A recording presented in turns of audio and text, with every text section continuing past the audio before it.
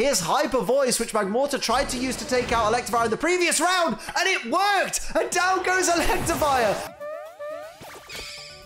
Welcome to the final of Metromania Season 11. It has been a long road to get here, but here we are. We are ready to see two teams face off for the title of Metromania Season 11 champion. Stick around till the end of the video for a lovely announcement as well regarding the future of Metromania. But let's get into it as Togekiss and Togepi take on Magmortar and Magby.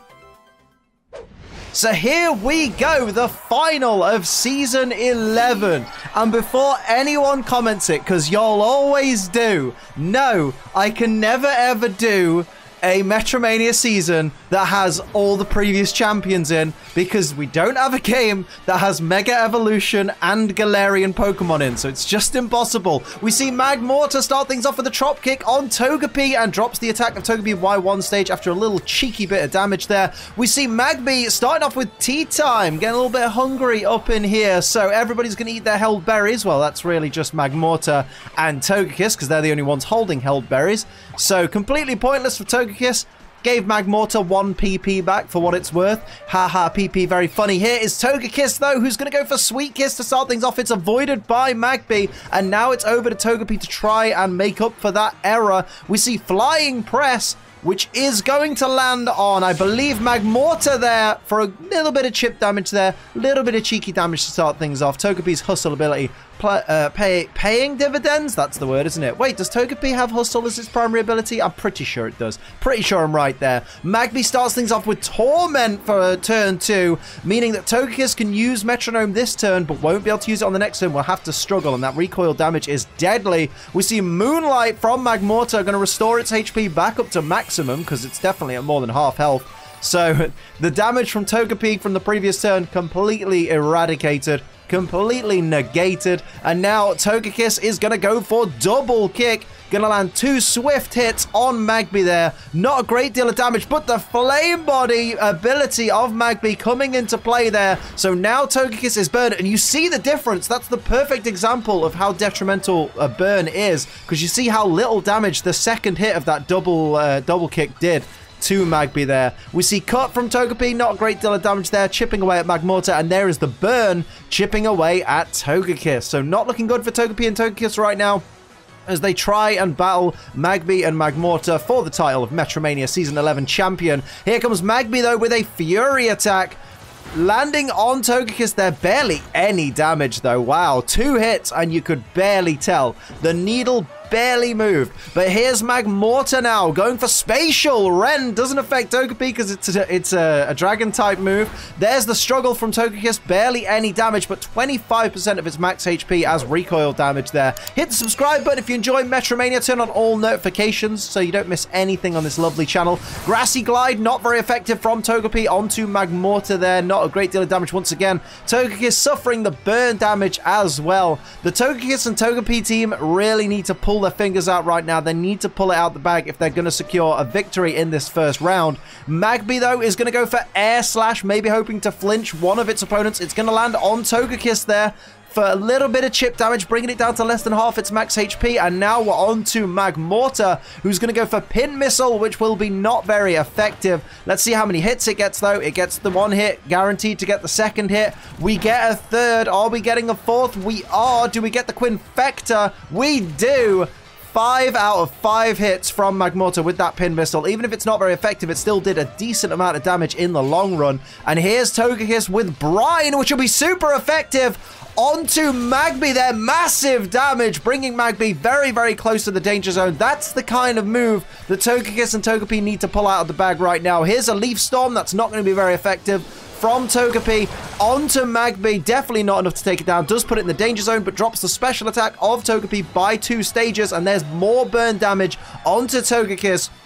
So a better round, I guess, for Togepi and Togekiss, but still a very difficult situation that they're in right now. Here comes Magby once again with Clear Smog, looking to, I guess, remove stat changes on Togepi. Super effective because it's a poison type move, but does that mean that it removes any negative stat changes? I can never remember. Let me know in the comments. I know it removes the positive ones. Clanging Scales doesn't affect Togekiss or Togepi, so Magmortar wasted its turn, but at least it survived getting a... Uh, a defense drop. There is the struggle, barely damaging Magmortar at all, but putting Togekiss in the danger zone because of that recoil damage. We see Metal Burst from Togepi, who's already been attacked, so it's going to do one and a half times damage. Lands on the Magby and takes Magby down, the first casualty of this Metromania final. There's the burn damage on Togekiss. How much did that do? It's not quite defeated yet, but it's very, very close. Magmortar still with a lot of HP, though. There's definitely a lot of work to do yet if Togekiss and Togepi hope to take down Magmortar. Here's Magnetic Flux. That is going to fail. Now Togekiss has an opportunity. It's it's not long for this world because of that burn.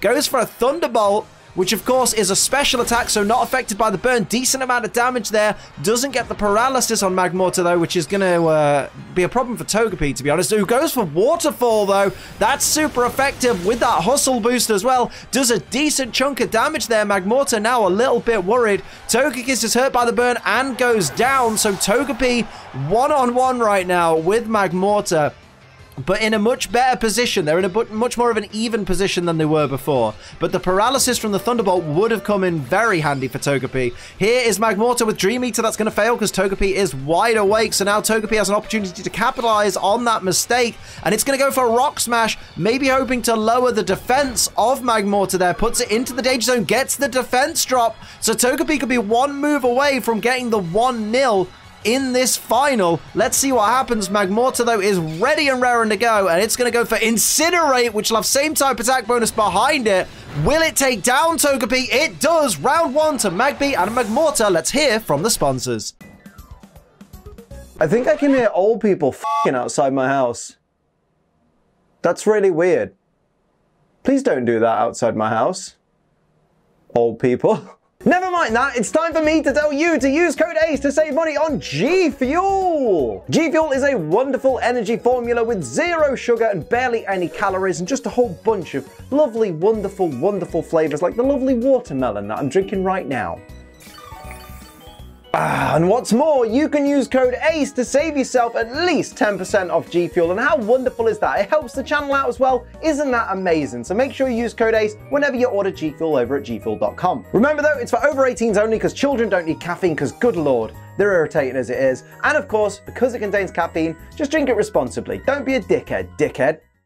So here we are with round two, Magmortar and Magby leading 1 to 0 as Togepi and Togekiss have a very important round here because Magmortar and Magby only need to win this battle to become the champions. And realistically, oh, that Fire Spin would have been an absolutely great move by Magby if it had landed. And realistically, Togepi and Togekiss want to go all the way. Everybody wants to go all the way in Metromania, as we see the Ghost type being added to uh, to Togekiss there which will reduce its dark type resistance and make it weak to ghost type moves. We see Gunk Shot from Togekiss onto, I believe, Magby. Onto Magby there. Big chunk of damage as well. Gets the poison, puts Magby on a timer. That's a great first move there. Gunk Shot, very, very useful in Metromania. And now we see Togepi getting ready with the Gear Grind. Not very effective, but avoided by Magby anyway. And there's the poison damage on Magby. Magby already, after turn one,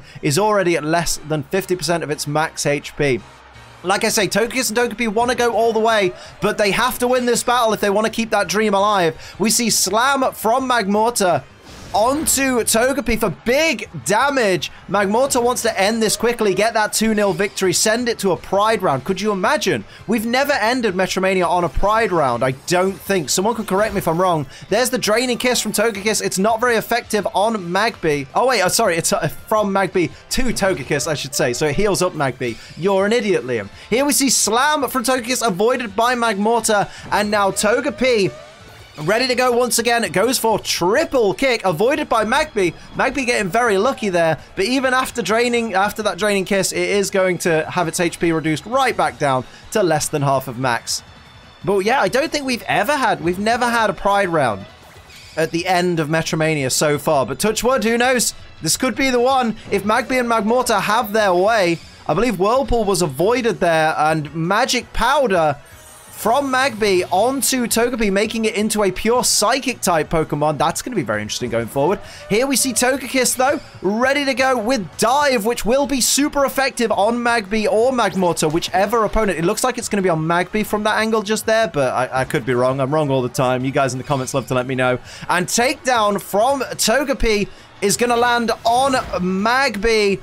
Of course, Flame Body coming into effect. I was going to say, of course, recoil damage from that takedown will be applied to Togepi, but also the burn, halving Togepi's attack stat. There's the poison damage sapping away at Magby, and there's the burn damage slowly withering Togepi's health down. Togepi needs to stick to special attacks, really, at this point, unless it can conjure up some aromatherapy or something to get rid of that burn. Here comes Magby, though, with Luster Purge, avoided by Togekiss, who's still underwater on this grassy field. Don't know how that works. And here's Magmortar with a shockwave avoided by Togekiss. So a free turn for Togekiss and Togepi. Gets the dive on Magby and knocks out Magby. I think that was a mistake though, because that should have been used on Magmortar, who has a lot more HP left. Magby was going to be knocked out in a couple of turns anyway because of that poison. Here's Tri Attack from Togepi though. Maybe looking to freeze I don't think you can freeze fire types. I can't quite remember. I'm pretty sure they thaw out instantly if they use a fire type move, but I'm pretty sure they can't be frozen anymore. Oh, that's another one for the comment section to correct me on. Let's go for that. Hoping to freeze or paralyze or... Um, what's the other one? You can't burn because it's... Uh, what do you call it? A fire type. That's it. I had a brain fart moment. The Fury attack missed regardless. Focus Blast is going to land, though, from Togekiss onto Magmortar there for a big chunk of damage. Magmortar now at less than half its max HP. Over to Togepi. What's Togepi got in mind here? Togepi with the Body Slam. Is it going to land and get the paralysis on the Magmortar there? No paralysis. That's unfortunate for Togepi, who is hurt by the burn once again. So Magmortar still very much in this, very much unhindered at the moment as we start off the next turn. What's Magmortar going to do? It's going to go for Air Slash, avoided by Togepi. That's unfortunate. Air Slash missing is a very, very unfortunate moment. We see Splash from Togekiss, though, wasting its turn. Don't know how smart this idea is. now it's over to Togepi once again. Is Togepi also going to waste its turn? It's going to go for Drill Peck, going straight on the uh, physical offensive still. Doesn't do a lot of damage because of Togepi's burn, which then withers away at its HP once again. So Magmortar still with another opportunity to get that 2-0 victory, to take out both its opponents. Imagine if it threw in a Rock Slide or something right now. That would probably end things. Goes for a Seed Bomb onto which opponent? Onto Togekiss, so it's not very effective. Would have been neutral damage to Togepi. So a bad play there. Here comes Togekiss, though. How will it respond? It's going to go for Bolt Strike. And how much damage will this deal? Here we see the Bolt Strike on Magmortar. Big damage. Not enough to take it down, though. It's still got a slither of HP left. Can Togepi secure that equalizer? It's going to go for Bug Bite. It's not very effective, but will it be just enough? It is. Down goes Magmortar, and this is one apiece. We are not going to a Pride round. We are going to a Decider round. Either Magmortar or Magby, or Togekiss or Togepi. If they win this round, they secure the victory and the grand final title of champion for their team. What on earth am I saying? You get the gist. It's Metromania. You know the deal by now. Here comes a guard split to start things off from Magmortar. Sharing its guard with Togepi. Don't know how wise that was, but I guess we'll see going forward. Magby is going to start this final round off with Dual Chop. Doesn't affect Togepi or Togekiss. Big mistake there. Togekiss's first move of this round is going to be Payback moving after its opponent, so I believe it's going to be powered up onto Magby for great damage there. A good, like, quarter, if not a third of Magby's HP gone. We see Sucker Punch from Togepi that is going to fail. So, unfortunately, there, there were some mistakes that round on both sides. But uh, now we have Magmortar starting off the next turn. Let's see if this does a little bit better here. Gonna go for Tickle.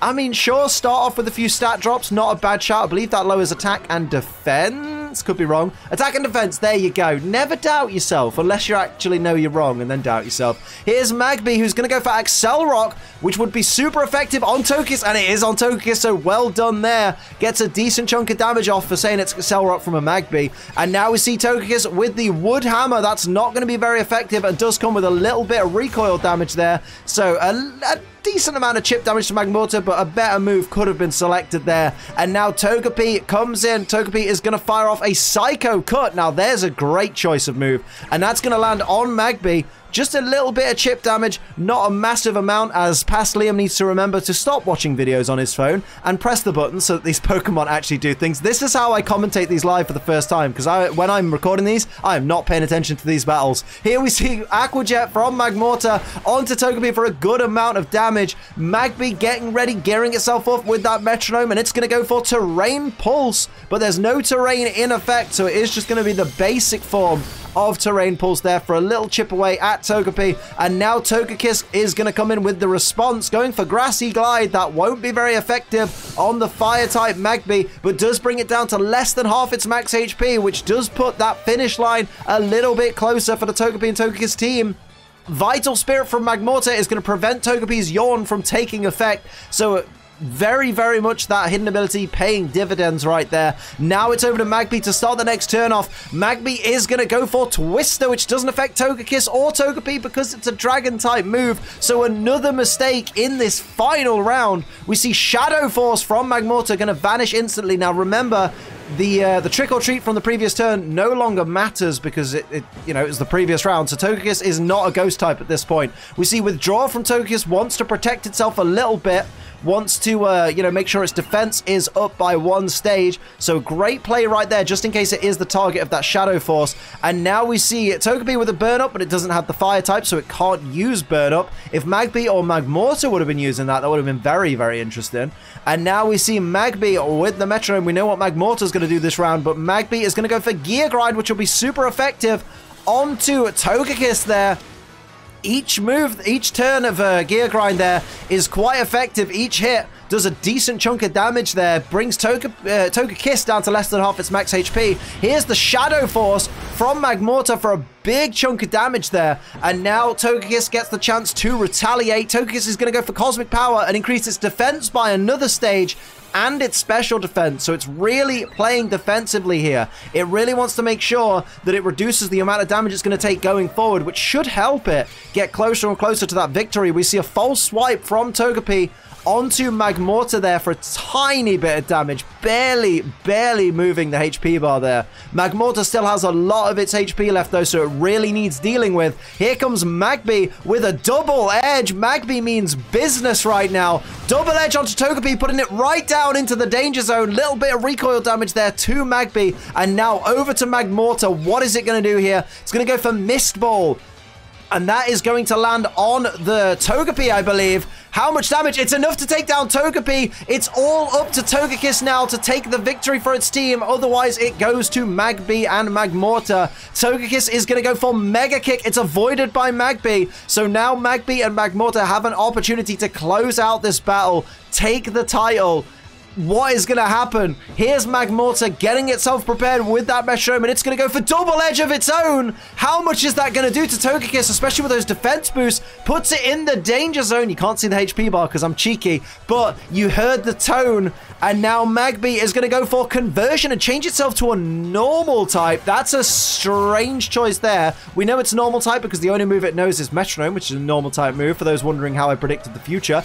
And now Togekiss is going to go for Storm Throw, which is super effective. Guaranteed critical hit as well. So down goes Magby. It's down to just Magmortar and um, Togekiss there. Wow, this really could go either way, but Magmortar has a lot more HP than Togekiss. That much is definitely true. So Magmortar only needs to hit one move, really, on Togekiss to secure the victory. Goes for rest, but Vital Spirit means that it won't fall asleep and does not get the benefit of rest restoring its HP. So this is an opening that Togekiss can capitalize on. It's going to go for Liquidation, which is going to be super effective on Magmortar for some big damage there, bringing Magmortar down to less than half its max HP. Does not get the defense drop, but my word, Togekiss is very much showing that it's still in this competition. Magmortar is ready though, goes for Thunder Punch, which will be super effective on Togekiss. Is this the finisher? It is! Togekiss is going down! The victors and your Season 11 Metromania champions are Magmortar and Magby. That was absolutely incredible. What a journey they've had, and what a fantastic final that was. Now, stay tuned, because we have an announcement about Metromania coming up right about now. Now then, oh, okay, so first things first is don't worry, there's no cancellation or anything like that. Metromania is not cancelled. So just for anyone that was worrying, it ain't that. But for those that have been watching my Twitch streams for a long time, they will know that I've been debating about this for a long time. I've been weighing up the pros, weighing up the cons, and I want to make Metromania a yearly event. I want Metromania to be something that we can all get hyped about, we can all start looking forward to and being like, right, oh my god, it's Metromania season, let's go, let's get excited. So it does mean that yes, there won't technically be Metromania for a little while, but it'll be back and better than ever on December 25th of this year, which is Christmas Day. So I'm giving you Metromania for Christmas. That's pretty banging. And the reason that season 12 is going to start on that particular date is because 14 weeks after that, so the 15th episode of that season, will be the weekend of WrestleMania, which is where we got the name from. And I think that's kind of cool that Metromania ends the same weekend that we experienced WrestleMania. I just think it's a nice hype thing to tie it all together, and it means it's a brilliant time to be able to do it once a year and have it as one big really cool event. I think it'll generate a little bit more hype around Metromania, make it a bit more interesting, a little bit more exciting. It gives us time in between for me to talk to you guys and find out what kind of theme you guys want to see. We can sort of work on that together. Uh, maybe, hopefully, I can get some updated graphics for it because I think it's looking a bit tired as well. Mm. And that also obviously frees us up a day a week in the meantime for us to maybe fit in another WTF Moments, which is my favorite series and that I really, really like making and I want to be able to get through a little bit faster. I think personally, that's the best way about it because it keeps Metromania interesting without oversaturating it because I think that's the big problem with doing Metromania in doing 15 episodes a season, 11 seasons back to back. That's 165 episodes. I feel like we've oversaturated it a little bit and I want it to have a bit more of its luster back, a little bit more of its like wow factor. So I feel like Metromania once a year is the best way to go. And it's going to be starting on December 25th, 2021. So get excited for season 12. Get excited for more WTF in the meantime. If you're not a fan of WTF, Soz, because I really like making it. Like, it's my favorite thing to do and it fills me with loads of joy. And of course, don't worry, Siri battles are staying exactly where they are because I love Siri battles so much as well. I love Metromania. Like, don't get me wrong, it's one of my favorite things I've ever made, Metromania, but I feel like it just needs to not be oversaturated as it is. It needs to be a little bit more.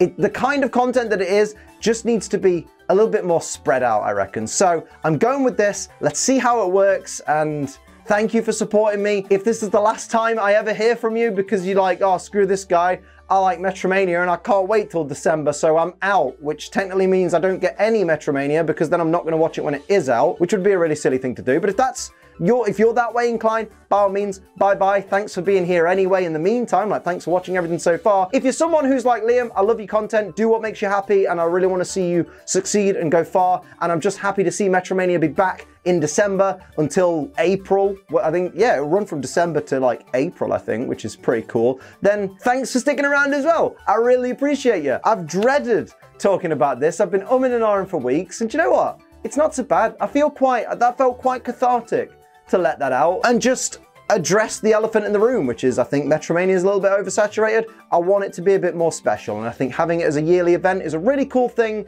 that we can all look forward to together as a channel, as a community. I think that's really cool. And if you don't like it, soz, I'm, I'm doing it when I want to do it, and that's end of this year. But yes, as always, thank you for making season 11 such a wonderful season because it was absolutely amazing. And I want season 12, when it does come around, to be even better than this one. So I've got to really go to the idea pool, really pull some things out of the bag and I'm just really excited. So thank you for watching. Thank you for liking, sharing, subscribing, all that good stuff. And until next time, I'm Ace Keep on training.